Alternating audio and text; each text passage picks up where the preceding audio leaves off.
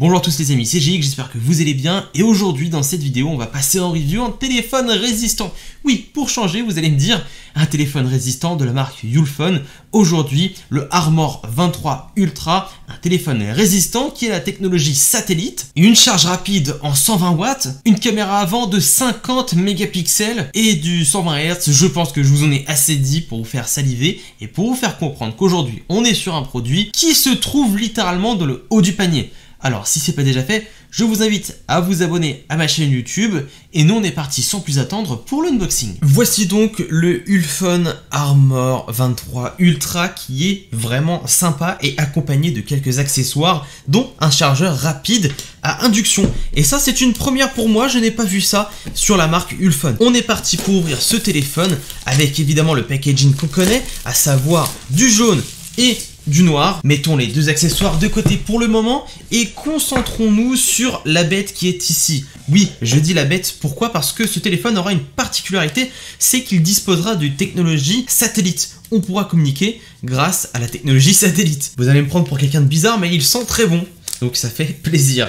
En tout cas, on est parti pour l'ouvrir, il est bien protégé et assez atypique hein, à vrai dire pour un téléphone résistant. Il nous sera fourni avec un chargeur rapide 120 watts et un écran qu'on pourra mettre par-dessus pour protéger encore plus le téléphone. Regardez donc le Ulfone Armor 23 Ultra qui pèse 332 grammes et pour un téléphone résistant, c'est pas énorme, ça fait plaisir.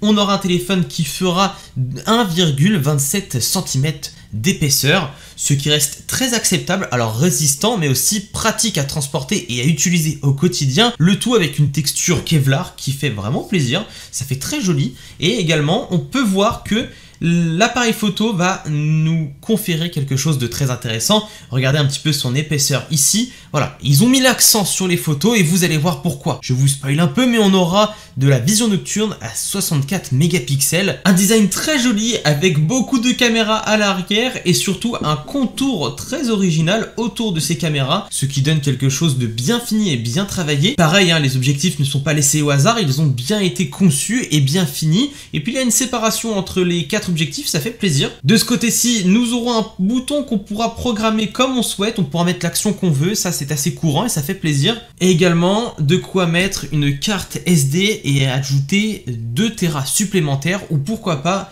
mettre deux cartes SIM également en même temps. Des côtés métalliques eh bien, qui vont directement dans le sens d'un téléphone résistant. Et en haut, vous ne rêvez pas, nous aurons un bouton SOS. Et oui. Et ensuite, de l'autre côté, le classique, le volume et le power. Moment satisfaisant, waouh, c'est parti on l'allume et on voit ce que ça donne. Il est évidemment sous Android 13 et puis on est parti pour le voir d'un peu plus près. Et on se retrouve donc directement sur le téléphone. Voilà, j'ai fait les premiers réglages et à vrai dire, eh bien, je suis satisfait pour plusieurs raisons. Déjà, avant d'aller dans le téléphone, je tiens à vous montrer le chargeur qui est ici et qui va nous permettre de recharger le téléphone en 50 watts et c'est plutôt pas mal. Je le pose simplement et là, ça recharge. Alors ça va recharger à 50 watts. Et je ne sais pas si vous entendez mais en dessous on a tout simplement une petite hélice qui va servir de cooling, de refroidissement alors c'est plutôt intéressant. Je sens que ça fait du frais. C'est un bon petit accessoire, surtout si vous travaillez à domicile et que vous voulez toujours avoir un œil sur les notifications qui arrivent. Bon, en tout cas, on est sous Android 13, hein, comme vous le connaissez,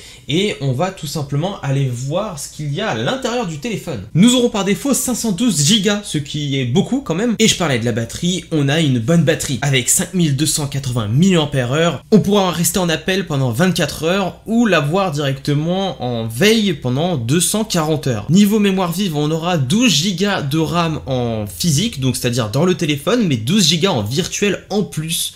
Donc au total 24 Go. Et allez on est parti pour tester un des points forts de ce téléphone, j'en suis sûr, c'est l'écran. Un écran Full HD+.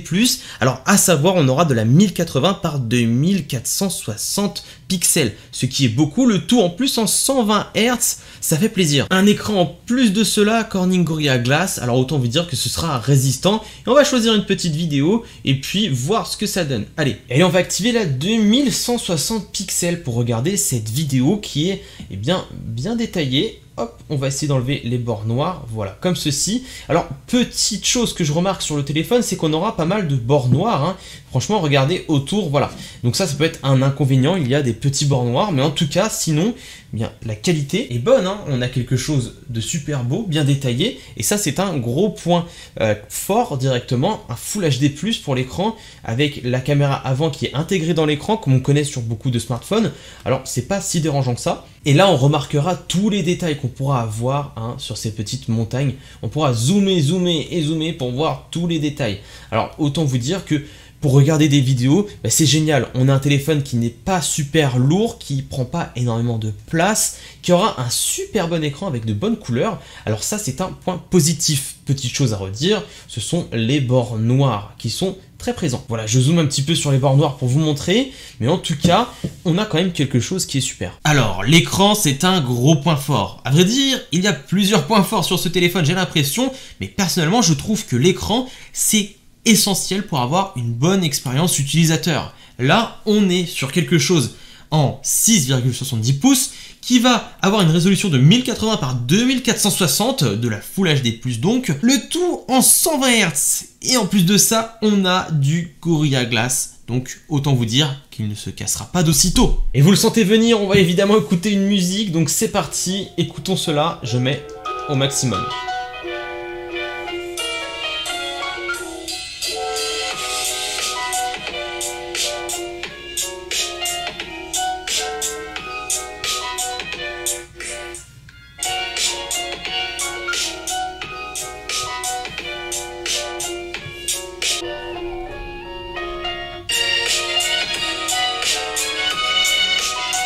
Alors le son serait bon pour regarder par exemple des vidéos, pour entendre correctement des voix, dans des reportages, dans des films.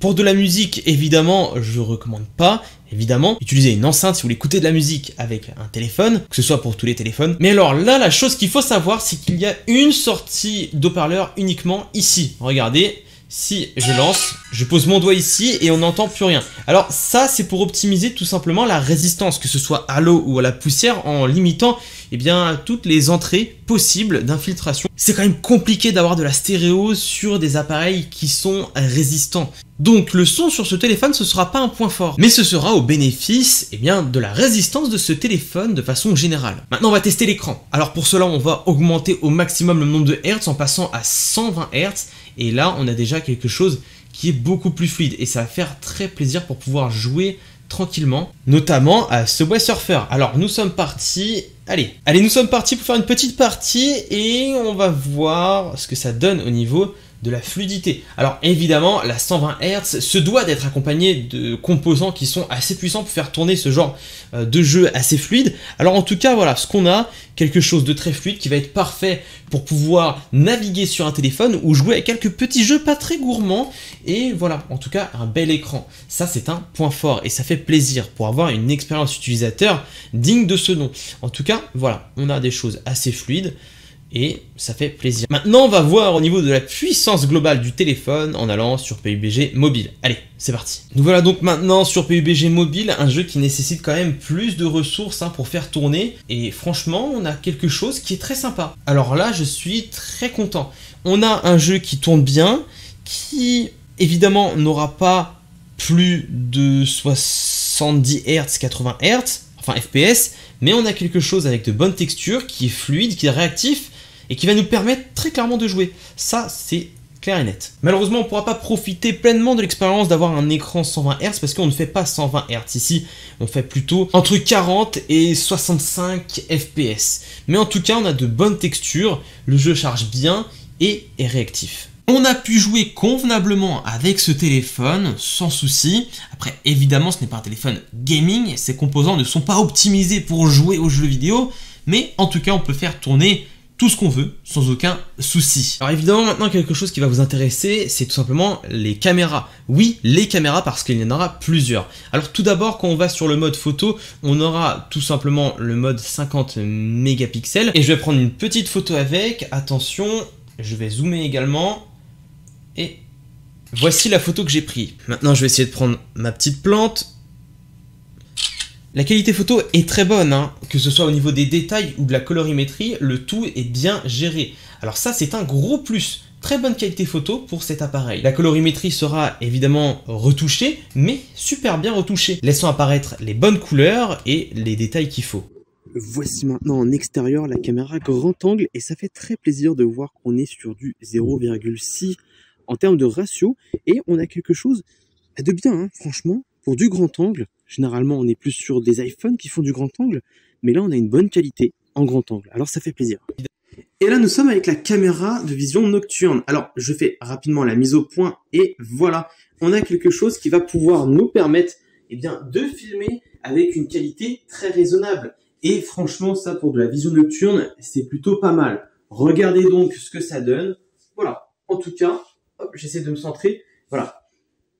Je sais pas si on voit bien, mais en tout cas, je pense qu'avec 64 mégapixels en vision nocturne, ça le fait plutôt bien. Alors là, on a quelque chose de plutôt sympa. Et allez maintenant, résolution normale, enfin 4K et avec un zoom normal. On n'est pas sur du grand angle. Alors voilà, 4K 30 fps. Dites-moi ce que vous en pensez. Et maintenant, si je me filme, voici ce que ça donne. Alors je trouve que la colorimétrie est bien gérée, que les lumières aussi, les couleurs aussi, les détails aussi. De belles couleurs et surtout de beaux détails. Regardez ça. Franchement, ça fait plaisir. Voilà. Et nous voici maintenant avec la caméra avant qui, elle, eh bien, a aussi une bonne qualité. Franchement, on est sur quelque chose qui a de bonnes couleurs. Vous pouvez le voir derrière moi, le ciel est bien retouché. J'ai la tête en plein soleil, mais la lumière est bien gérée. Voilà, en tout cas, pas mal de détails et ça fait plaisir. Et alors attention, gros point fort de ce téléphone, enfin au moins un point qui n'est pas délaissé, c'est la caméra, enfin les caméras. À l'avant, on aura 50 mégapixels. En grand angle, on aura 50 mégapixels. À l'arrière, 50 mégapixels. Et attention, en vision nocturne, on aura 64 mégapixels. Alors autant vous dire que c'est vraiment pas mal. Rien ne va être délaissé et ça c'est très plaisant. Et il faut savoir que ce téléphone est IP68, c'est-à-dire qu'il pourra résister sous l'eau eh bien, à une profondeur de 2 mètres pendant 30 minutes. Alors autant vous dire que si je fais ça, normalement, il va rien se passer, à condition que ce ne soit pas ouvert. Et c'est parti regardez ça sans souci. Alors c'est pour vous dire que ce téléphone aura un point fort sur sa résistance. Hein.